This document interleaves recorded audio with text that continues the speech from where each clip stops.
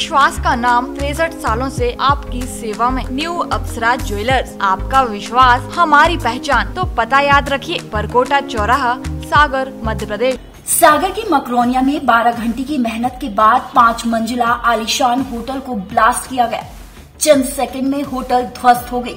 वहीं इसके बाद कलेक्टर दीपक आर्य ने जानकारी देते हुए बताया कि शॉपिंग कॉम्प्लेक्स की अनुमति लेकर यह होटल बना दी गई थी।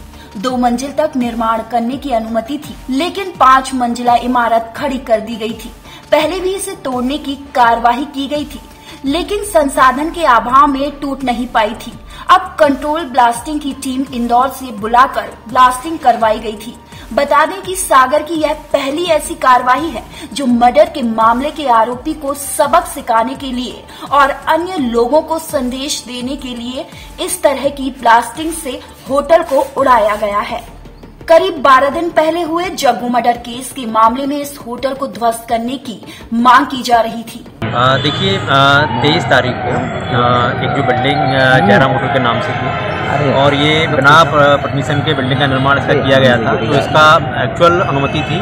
वो शॉपिंग कॉम्प्लेक्स के नाम नाम से थी और वो एक फ्लोर या दो फ्लोर की थी और इन्होंने पाँच फ्लोर का बिल्डिंग बनाया था। वो बिल्डिंग का पहले एक बार कार्रवाई तोड़ने की गई थी लेकिन चूँकि बिल्डिंग बहुत बड़ी थी।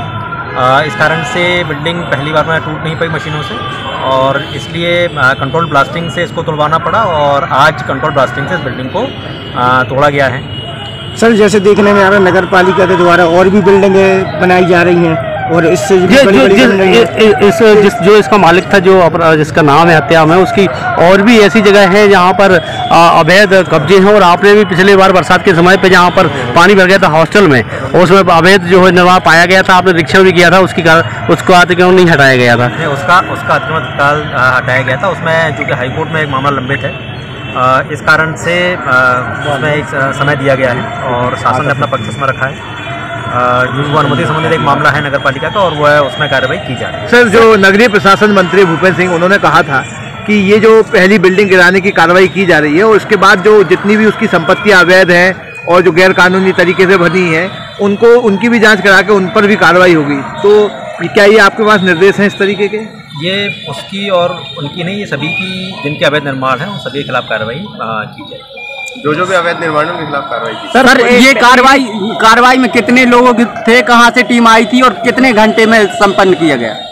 देखिए ये कंट्रोल ब्लास्टिंग कार्रवाई थी इसके लिए एक्सपर्ट टीम लगती है और एक्सपर्ट टीम को इंदौर से बुलाया गया था। इंदौर में ये कार्रवाइयाँ ये इंदौर में इस प्रकार की कंट्रोल ब्लास्टिंग विभिन्न जगह पर होती रहती है तो वहीं से इन टीम को बुलाया गया था और लगभग छः लोगों का ये दल था जिसने ये कार्रवाई की है।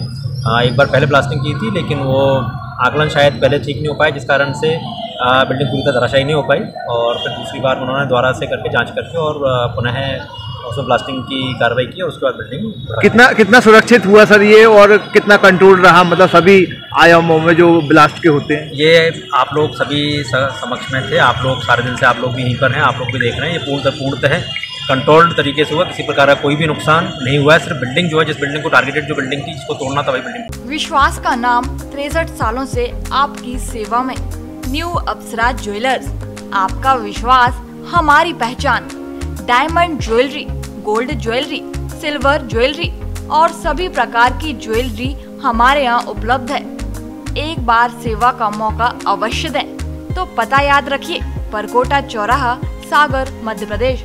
हमारा नंबर है nine four two five one seven two zero four one, eight seven two zero zero four zero two eight three.